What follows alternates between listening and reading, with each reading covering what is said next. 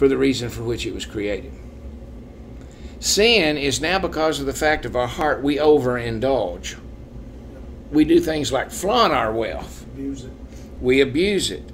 Self centered, self indulgent, compassionless consumption. it's the sinful attitude of the heart. But here's the good news for us we're not of the world anymore. So, guess what we have now living within us in our new hearts? The Holy Spirit, who can then what? Help us use the world correctly. That uh, let me show you a little passage. This just came to me. I'm not sure how that passage reads. First Corinthians, chapter seven. And hang with me just a minute because I didn't have this in my note. It just flashed through my mind. And, um, oh yeah, 1 Corinthians 7, verse 29. Now, Paul has spent 28 verses talking about the problems of marriage. when did marriage problems begin? In the beginning. In the beginning. Well, with Adam and Eve. actually, after the fall. Oh, after the. because Adam, right before the fall, said, Bone of my bone. I mean, Hallmark greeting card, right? Bone of my bones, flesh of my flesh. I'm going to call you my woman. You were taken from my rib after the fall. The woman you gave me, she's the one who messed all this up. blame game already. I mean, that's immediate, wasn't it? Just, just almost started. They tried to hide from. I mean, this, this was a husband and wife. They were naked. They were naked before. They had had sex. Okay? They were to replenish the earth, right? All those things were good. But the first thing they want to do is try to dress themselves. See, sin wants to make you hide. And here's a beautiful shadow. Were they able to hide their shame? They went and took some fig leaves, or as the Geneva Bible says, they made for themselves from leaves breeches. you know, so that, that was known as the breeches Bible. And they put these fig leaves on, and that didn't work. But they was trying they were trying to hide it themselves, weren't they? And uh, they just had a sense of I can't be vulnerable. I can't open up to you. I can't be, be, be naked in my heart, soul, and mind to you. I'm one flesh with you, but hey, you know, we need to put a little barrier between us. And sin's what caused that. So after Paul has to deal with the fallout of these problems now, after hundreds of years, here's what he says But I say, brethren, the time has been shortened. You know, time's short. So that from now on, those who have wives should be as though they have none. Time's coming, they ain't going to have to worry about this marriage thing. And those who weep as though they did not weep. And he says, And those who rejoice as though they did not rejoice, and those who buy as though they did not possess, and those who use the world as though they did not make full use of it. For the form of this world is passing away. Talks about the abuse of the world. So he says, The time will come for those of us who are regenerate that have used the world without abusing the world. Because see, sin makes you abuse the world, makes you use it for something that you shouldn't. And, and, so we can give him thanks and be obedient and be generous with others with the things of which we have. So it is from him that we have the ability to get rich. Now that differs among people. Remember, God controls every human life and every human destiny. The people who are millionaires are not millionaires because they've got good old Yankee know how, because God blessed them with it. Even the evil people with it? Yep. Yep. I'm where I'm at economically because guess what? God bless you. God put me where I'm at economically. He has those who have less than I do, those who have more than I do. And, and, and he doles out the capacities just like he doles out the spiritual gifts as he sees fit. So we all don't have the same to the same degree. But you know, it's just like when I go to Belize. Listen, Fidel told me, he said, one thing about us, he says, we will never really be hungry. And he took me around, he showed me all the things that were in the jungles that they ate. You know, he says, so we will not starve. It can get hard.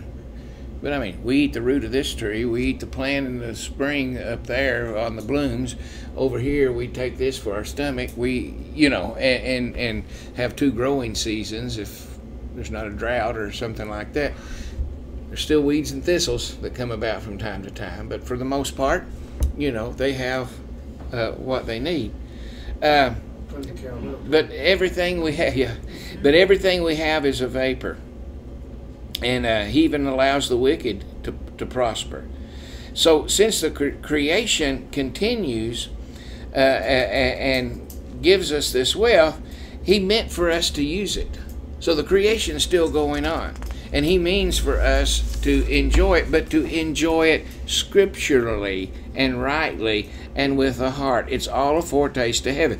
Only us who are Christians can, can, can see this and do this because we'll get messed up if you think in a sinful kind of way. To resent wealth or to think that you have to take a vow of poverty is to show the wrong attitude of heart. God has put on display His greatness his generosity, enjoy it. So don't knock yourself if you drive a nice car. Don't knock yourself if you go home to a nice bed tonight. Okay?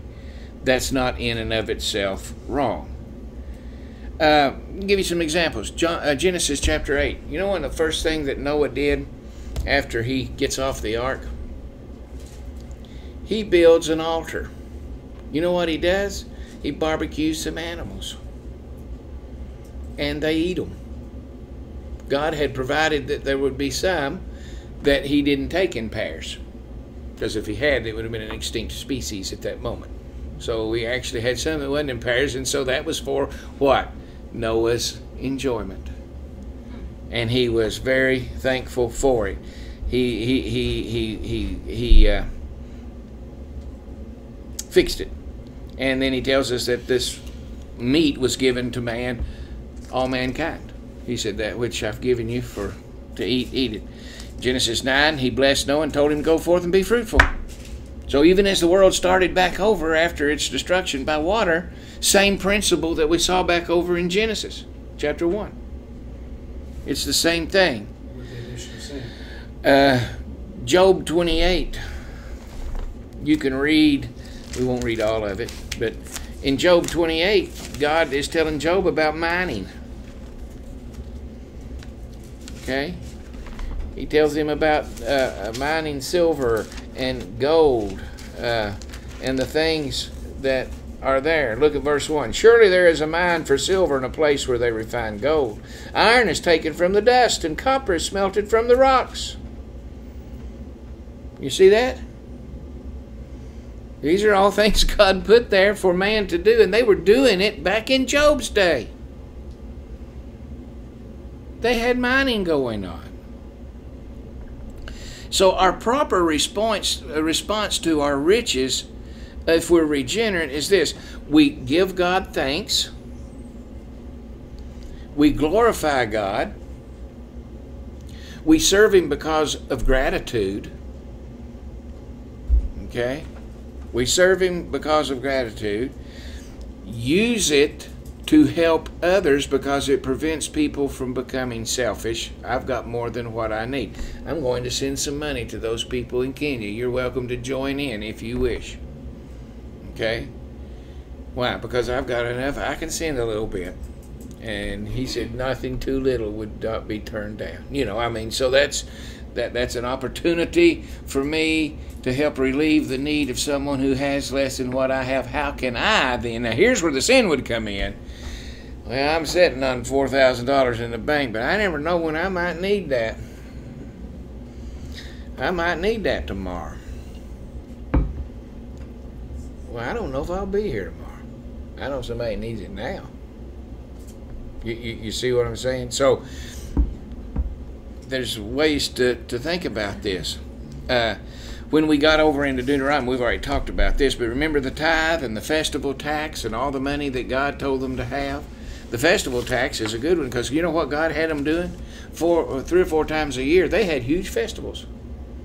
All Israel would go to Jerusalem, bring their tithe in, and then they would feast. Right? You know what their you know what their favorite feast was? Passover had the most religious significance.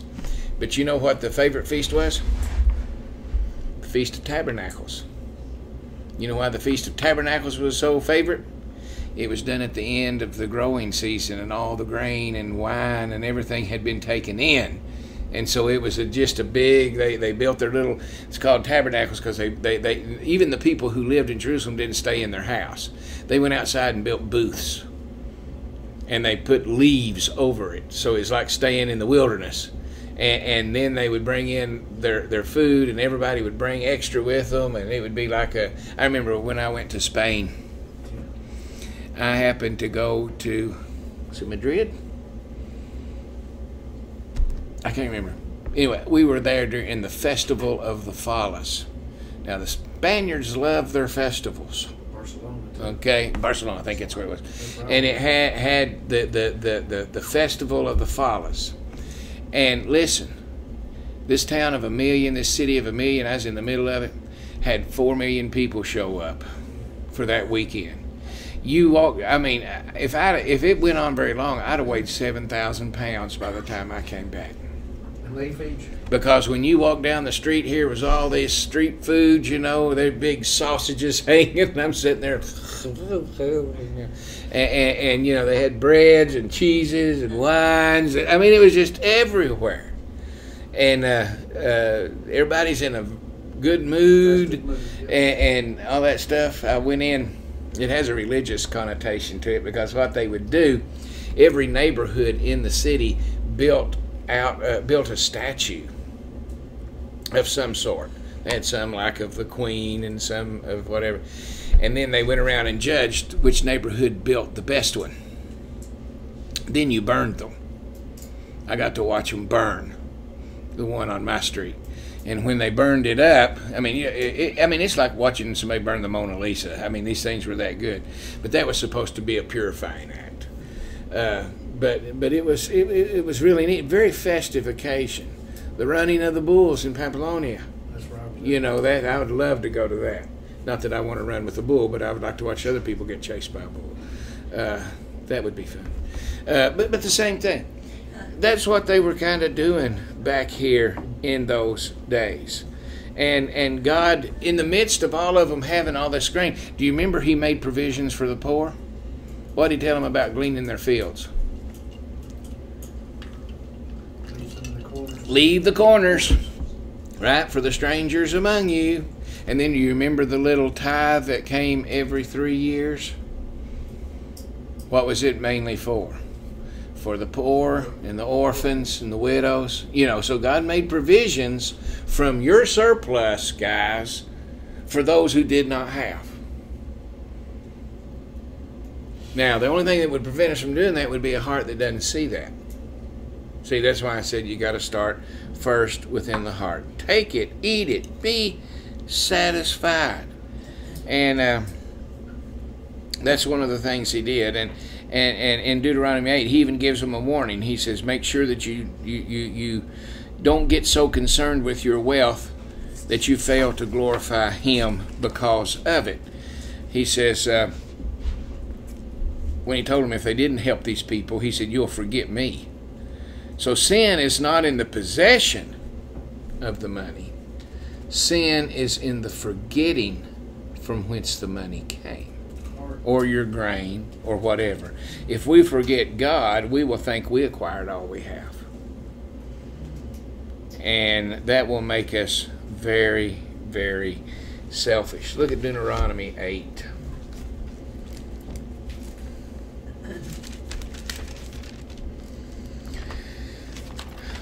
The little minion has struck again.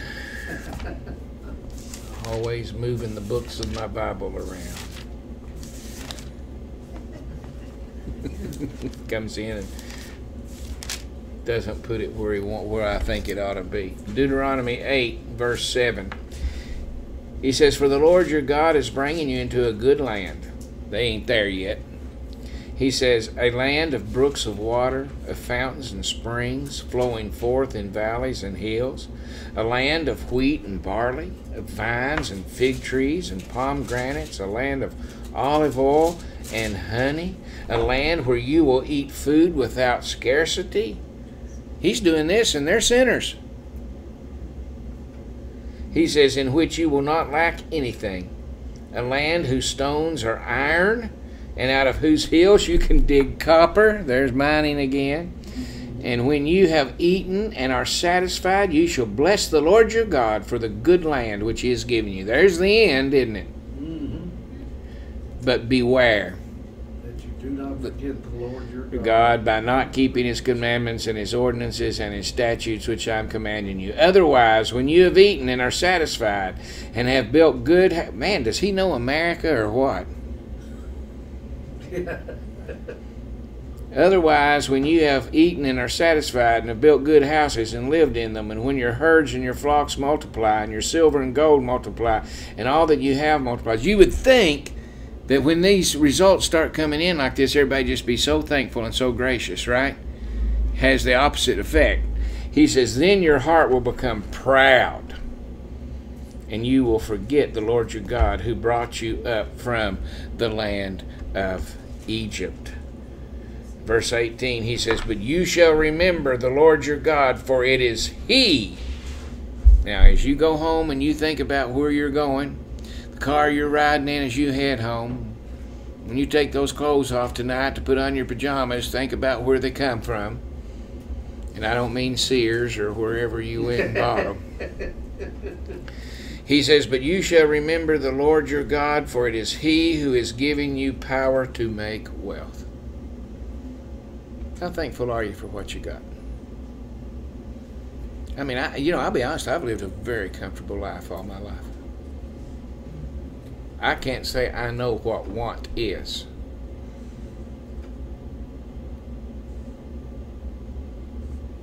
I really don't know. Never been where I didn't know where my next meal was coming from. Never knew where I was going to lay. I've never been where I didn't know where I was going to lay my head down. Never had that.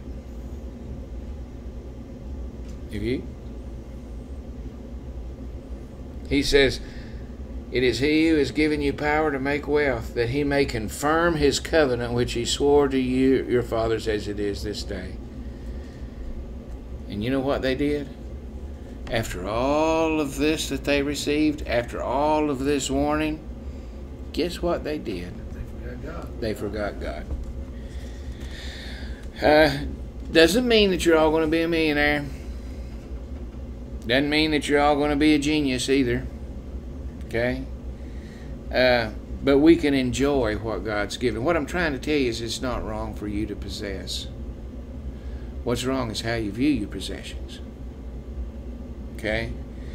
Not all are equal, but we strive to help those who are not equal with us all true riches, all of our true riches are still in heaven because these others we're going to leave here. It's all about our heart attitude. Look at Amos. The minion's really going to hide this one out. Oh, he didn't. The minion turned me right to it here. or the angel turned me right to it. The minion always tries to hide it.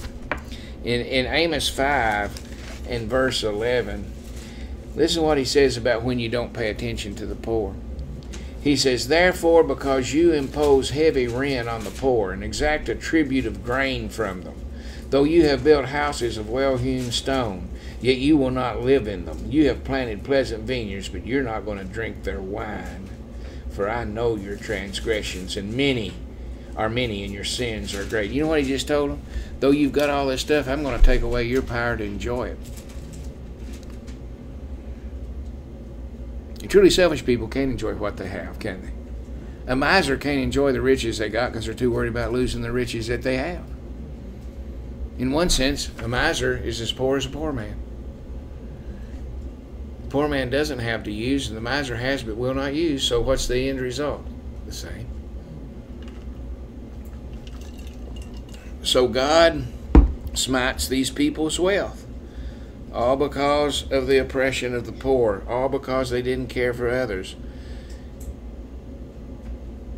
And It's it, it, and again, it's not the riches that's the problem. It's the fact that God gave them this and they did not. So when we talk about acquiring money, okay, it has to be with first an attitude from where it comes from and why it was given to you, and not just money but possessions as a whole. And with that having been said, you get money through your work. You can receive money by means of a gift right? People give people money. And you can receive money by investments. People often ask, is it wrong to invest money for a return later? No, not wrong at all. And uh, the Bible even talks about that in many places. Uh, People confuse that with gambling. That's, that's yeah, it's, uh, it's different. No. You're, you're, you've got a product that's being. If if I invest in your company, okay, I'm I'm investing in your company, and you're making a product and selling. If it makes money, then I'm making money. Right. Okay. If I go to a lottery ticket, what am I investing in? Yeah. you know, I'm investing in me, right? Or having more money so people can want more money. Uh, in Matthew 25, the unprofitable servant. Why was he in trouble? Remember that you had the different talent guys? First one got his 10 talents and he went out and made 10 talents more. Was that not an investment? Yep. He said, So not only do I have what you gave me, I've got more. There's another one who didn't have as much, but he invested it and made double. And then finally, the one little talent man didn't do nothing with it. He buried it.